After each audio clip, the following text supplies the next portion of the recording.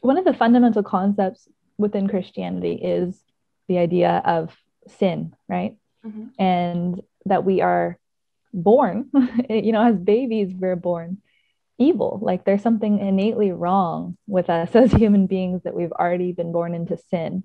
Mm-hmm. So it's like the the the starting point is already so different from Hinduism because it's telling us from the get-go that something is wrong with our nature and it creates so much incompletion and suffering in us.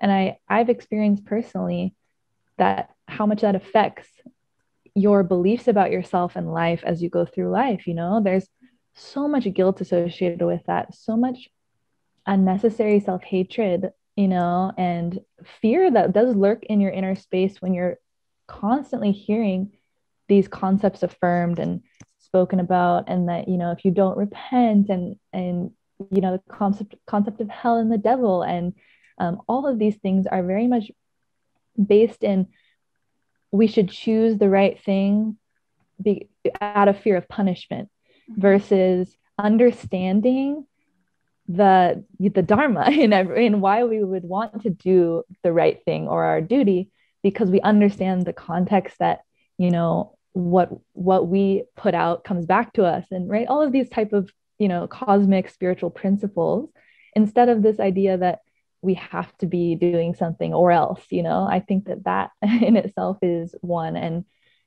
a lot of the the foundation of that too right is is also that concept that we are told all the time we are sinners and we we never reach any type of state of enlightenment or state of god consciousness that you might have seen described in eastern traditions. So again there's that really strong separation between the divine and who i am. And it's emphasized really strongly and it creates you know a totally different identity about who we are right in in this world and why we're here versus within hinduism